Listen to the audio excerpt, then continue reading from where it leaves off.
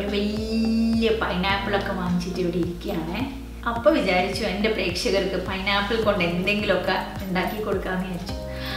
അങ്ങനെ ഇരിക്കുമ്പോഴാണ് പൈനാപ്പിൾ പായസം ഉണ്ടാക്കിയാലോ എന്നൊരു ഐഡിയ പൈനാപ്പിൾ കൊണ്ട് ഒരുപാട് വിഭവങ്ങളുണ്ട് കേട്ടോ. പൈനാപ്പിൾ പുഡിംഗ് ഉണ്ട്. ഒരുപാട് വിഭവങ്ങളുണ്ട്. ഞാൻ ഒന്നൊന്നായിട്ട് ഉണ്ടാക്കാം. എന്തായാലും ഒരുപാട് വിഭവങ്ങൾ ഉണ്ടാക്കാം എന്ന് ഞാൻ ഉറപ്പ് തരുന്നു ആ പൈനാപ്പിൾ വെച്ചിട്ട്. പൈനാപ്പിളിനെ കൊണ്ടൊരു ജാമൊക്കെ ഉണ്ടാക്കി സൂക്ഷിച്ച് വെച്ച് കഴിഞ്ഞാൽ നമുക്ക് ഇഷ്ടം പോലെ പല പല വെറൈറ്റീസും ഉണ്ടാക്കാൻ പറ്റും. അതുകൊണ്ട് അത് പെട്ടെന്ന് ചീത്തയാവുന്ന ഒരു സാധനമാണല്ലോ.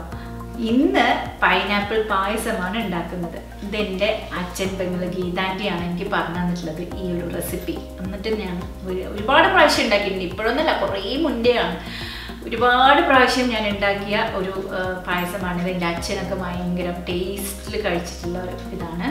വളരെ എളുപ്പത്തിൽ ഉണ്ടാക്കാവുന്ന ഒരു പായസമാണിത്. ഇതിന് കുറച്ച് ഇൻഗ്രീഡിയൻസ് മതി. നമുക്ക് നോക്കാലോ എന്തൊക്കെയാണെന്ന് പൈനാപ്പിൾ പായസം ഉണ്ടാക്കാനുള്ള ഇൻഗ്രീഡിയൻസ് കണ്ടോ? ഏറ്റവും ആദ്യം വേണ്ടുന്നത് നമുക്ക് പൈനാപ്പിൾ ആണ് അല്ലേ? ഇത്രയും വലിയ പൈനാപ്പിൾ അല്ല കേട്ടോ എടുത്തത്. ഒരു മിനിറ്റ് നമുക്ക് കൊണ്ടു വയ്ക്കട്ടെ അപ്പോൾ ഒരു വലിയ കൈതച്ചക്ക. വലിയതെന്നല്ല മീഡിയം സൈസിലുള്ളത് മതി എടുത്താൽ മതി. ഒരെണ്ണം എടുത്തിട്ടുണ്ട് ഞാൻ. ഒന്നിന്റെ പകുതിയാട്ടോ. ഇപ്പം കണ്ടില്ലേ ഒരു സൈസ് അതിന്റെ പകുതിയാണ് ഞാൻ എടുത്തിട്ടുള്ളത്. അതും. പിന്നെ ഒരു ടിന്ന് നമ്മുടെ മിൽക്ക് മെയ്ഡ് മിൽക്ക് മെയ്ഡ് പിന്നെ ഒന്നേകാൽ ലിറ്റർ പാൽ ഒരു ലിറ്റർ പാലിന്റെ കൂടെ ഒരു രണ്ട് ഗ്ലാസും കൂടി എക്സ്ട്രാ ഞാൻ ചേർത്തിട്ടുണ്ട്. ഒന്നേകാൽ ലിറ്റർ പാൽ. പിന്നെ വേണ്ടുന്നത് ഒരു നൂറ് ഗ്രാം ചൗവരി. അതായത് നമ്മൾ സാബൂനരി എന്നൊക്കെ പറയും ചിലയിടങ്ങളിൽ ചൗവരി എന്ന് പറയും. അതാണ് വേണ്ടത് നൂറ് ഗ്രാം. പിന്നെ വേണ്ടുന്നത് പഞ്ചസാര. പിന്നെ കാഷ്നട്ട് മുന്തിരി ഓക്കെ അത്രയും സാധനങ്ങൾ മാത്രം മതി. ചില ആൾക്കാർ എന്ത് ചെയ്യുന്ന വെച്ച് കഴിഞ്ഞാൽ അതിൽ എസൻസ് ഒക്കെ ആഡ് ചെയ്യും. എസൻസ് ഓപ്ഷനിലാണ് എന്റെ അടുത്ത് ഇല്ലാഞ്ഞിട്ടല്ല ഞാൻ ഇടാത്തത്. പിന്നെ വേണ്ട എന്ന് വിചാരിച്ചിട്ടാണ്. എസൻസ് ഒന്നും ഇല്ലാതെ വളരെ ഇതായിട്ട് തന്നെ. അതിൽ അല്ലെങ്കിൽ തന്നെ നമുക്ക് പൈനാപ്പിളിന്റെ നല്ല സ്മെല്ല് വരുന്നുണ്ട്. അപ്പോൾ പിന്നെ വെറുതെ വേറെയും ആർട്ടിഫിഷ്യലായിട്ട് ഒരു എസൻസ് ഇട്ടിട്ട് നശിപ്പിക്കേണ്ട എന്ന് വിചാരിച്ചിട്ടാണ് ഞാൻ ഇടാണ്ടിരുന്നത്.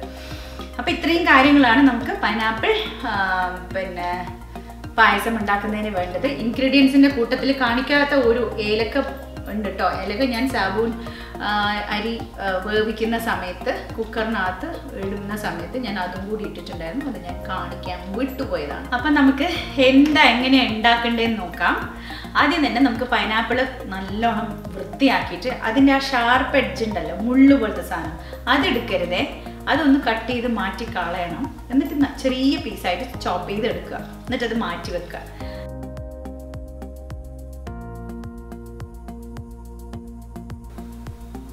ഈ സാധനം ഒഴിവാക്കുക.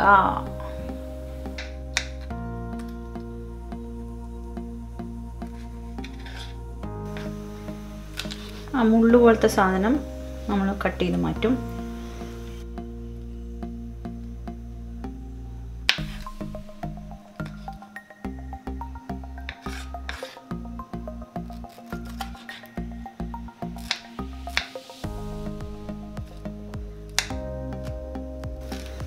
ചെറുതായിട്ട് ചോപ്പ് ചെയ്തെടുത്താൽ മതി.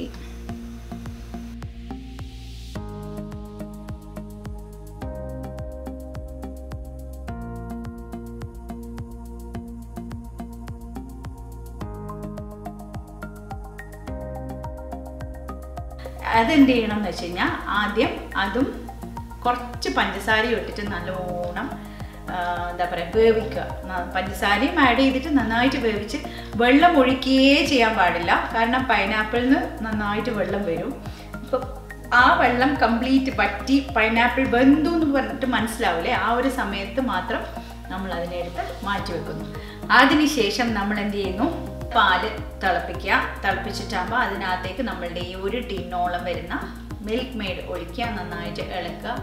ഇളക്കി ഇളക്കി. അതിൽ കുറച്ച് ഒരു എന്താ പറയുക ഒരു ടീസ്പൂൺ കോൺഫ്ലവർ ഞാൻ മിക്സ് ചെയ്തിട്ട് ഒഴിച്ചിട്ടുണ്ട് കേട്ടോ ഞാൻ ഇൻഗ്രീഡിയൻസിന്റെ കൂട്ടത്തിൽ കോൺഫ്ലവർ വിട്ടുപോയി തോന്നല്ലേ അതാ ഇപ്പം പറഞ്ഞുകൊണ്ട് ഇങ്ങനെ ഭയങ്കര ഓർമ്മ പിശക് വരുന്നുണ്ട്. അപ്പോൾ കോൺഫ്ലവർ മിക്സ് ചെയ്തിട്ട് അതിനകത്ത് ഒഴിക്കുക. എന്നിട്ട് നന്നായി തിളച്ച് ഒന്ന് കുറുക്കിയതിന് ശേഷം അതവിടെ വെക്കുക. പാൽ തിളപ്പിക്കുന്ന സമയത്ത് മിൽക്ക് മെയ്ഡ് ഒഴിക്കുന്നതിനോടൊപ്പം മിൽക്ക് മെയ്ഡ് ഒഴിച്ചാൽ തന്നെ മധുരമുണ്ട്. പക്ഷേ നിങ്ങൾക്ക് മധുരം കൂടുതൽ വേണമെന്നുണ്ടെങ്കിൽ കുറച്ച് പഞ്ചസാര ആഡ് ചെയ്ത് കൊടുക്കാം. ഒരു അര കപ്പോളം ഞാൻ എന്തായാലും ആഡ് ചെയ്ത് കൊടുത്തിട്ടുണ്ട്. അര ടു കാൽ കപ്പോളം ആഡ് ചെയ്തിട്ടുണ്ട് എന്തായാലും. അപ്പോൾ അത് ഓപ്ഷനിലാണ് നിങ്ങൾക്ക് ഇഷ്ടമല്ലെങ്കിൽ അത് അവോയ്ഡ് ചെയ്യാം. അല്ലെങ്കിൽ മിൽക്ക് മെയ്ഡും പാലും കോൺഫ്ലോറും മാത്രം മതി. അതിന്റെ കൂടെ നമ്മൾ ചൊവ്വയും ഒക്കെ അതിലൊക്കെ പഞ്ചസാര ഇടുന്നുണ്ട്. അപ്പോൾ അതുകൊണ്ട് അധികം മധുരം ആയി പോകണ്ട ഞാനിട്ടിട്ടുണ്ടേ.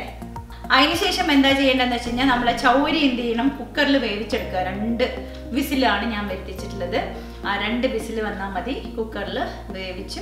എന്നിട്ട് അതിനെ ആ ചൗരീനെ എന്ത് ചെയ്യണം? ഒരു സ്ട്രെയിനറിൽ വെച്ചിട്ട് അങ്ങനെ കംപ്ലീറ്റ് ആയിട്ട് അതിന്റെ വെള്ളം കളഞ്ഞിട്ട് അതിന്റെ സ്റ്റാർച്ച് ഒക്കെ കംപ്ലീറ്റ് കളഞ്ഞതിന് ശേഷം വേണം അത് നമുക്ക് ഒരു ഈ ഞാൻ പറഞ്ഞ രണ്ട് ഗ്ലാസ് പാൽ ഒഴിച്ചിട്ട് അതിലിങ്ങനെ ഇട്ടിട്ട് കുറുക്കിയെടുക്കുക എന്നിട്ട് ബാക്കി നമ്മളുടെ മിൽക്ക് മെയ്ഡ് ടിന്നിൽ ബാക്കി ഉണ്ടാവും എന്തായാലും. അവിടെ ഇവിടെയൊക്കെ പറ്റിപ്പിടിച്ചതൊക്കെ ലേശം പാലൊഴിച്ച് ഡൈലൂട്ട് ചെയ്തിട്ട് അതും അതിലേക്ക് ഒഴുക്കുക. കുറച്ച് പഞ്ചസാര ഇട്ടിട്ട് വീണ്ടും അതിനെ ഒന്ന് കുറുക്കുക. ചൗരി പാലും ഇതുമൊക്കെ കൂടി ഇട്ടിട്ട് നന്നായിട്ട് കുറുക്കുക. അതിന് ശേഷം അതും മാറ്റി വെക്കുക. എന്നിട്ട് എല്ലാ കാര്യങ്ങളും അതായത് നമ്മുടെ പൈനാപ്പിൾ ഈ പാൽ പിന്നെ ചൗരിന്റെ മിക്സ് ഒക്കെ തണുത്തതിന് ശേഷം മാത്രമേ നമുക്ക് ഇതെല്ലാം കൂടെ മിക്സ് ചെയ്യാൻ പറ്റുള്ളൂ. എല്ലാ കാരണം എന്താണെന്ന് വെച്ച് കഴിഞ്ഞാൽ ഈ പൈനാപ്പിൾ എല്ലാവർക്കും ഒരു സംശയം ഉണ്ടാവും. പൈനാപ്പിൾ പാൽ വന്നു കഴിഞ്ഞാൽ അത് ചിലപ്പം പിരിഞ്ഞു പോകില്ലേ എന്നൊക്കെ. അങ്ങനത്തെ യാതൊരു ഇതും വേണ്ട. അതുകൊണ്ടാണ് ഞാൻ പറഞ്ഞത് എല്ലാം കംപ്ലീറ്റ് ആയിട്ട് തണുത്തതിന് ശേഷം മാത്രമേ അതെല്ലാം കൂടി ഒരുമിച്ച് മിക്സ് ചെയ്യാൻ പാടുള്ളൂ.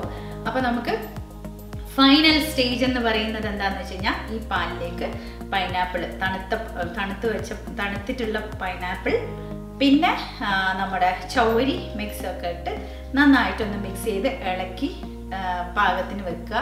പിന്നെ അടുപ്പത്തിലേക്കേ കൊണ്ടുപോകരുതേ. ചൂടേ പാടില്ല. കാരണം പൈനാപ്പിളാണ് പാലാണ് വിരുദ്ധമാണ്. എന്നാലും പിന്നെ തണുത്തതിന് ശേഷം മാത്രം മിക്സ് ചെയ്യാം മിക്സ് ചെയ്യുന്ന സമയത്ത് അതിനുശേഷം ചൗരി മിക്സ് ചെയ്യാം അതിന്റെ മുകളിൽ ഗാർണിഷ് ചെയ്യാം എന്തിട്ടിട്ട്? കാഷ്നറ്റും മുന്തിരിങ്ങയും നെയ്യിൽ വറുത്തിട്ട് അതിട്ടതിന് ശേഷം കംപ്ലീറ്റ് ആയിട്ട് നമ്മളുടെ പായസം അവിടെ റെഡി ആയി കഴിഞ്ഞു എന്നിട്ട് അതിന്ന് കുറച്ച് പായസം എടുത്തിട്ട് ദൈവത്തിന് വെക്കുക പൂജിക്കുക. ബാക്കി പായസം നമ്മളെല്ലാം കഴിക്കും. ഓക്കെ